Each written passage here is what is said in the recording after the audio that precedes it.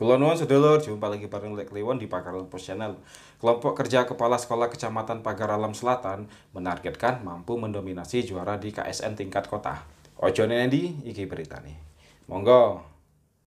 Kelompok kerja Kepala Sekolah K3S Kecamatan Pagar Alam Selatan bersama segenap panitia kompetisi sains nasional KSN Kecamatan menargetkan wakil Kecamatan Pagar Alam Selatan mampu mendominasi juara di KSN tingkat kota Pagar Alam. Hal ini diungkapkan Ketua K3S Kecamatan Pagar Selatan, Sutrisno, Sutrisno MPD, didampingi Ketua Panitia KSN, Dian Opinsi SPD.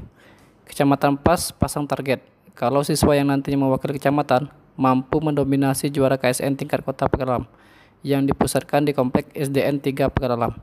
Panitia menyeleksi secara detail para peserta berjumlah 21 orang, terdiri dari 107 peserta mata pelajaran matematika dan 107 mapel IPA merupakan peserta per, didik perwakilan dari 30 SD dan 3 MI tersebar di wilayah Kecamatan Pagelam Selatan. Jelasnya, Edi Pagelam Post Channel.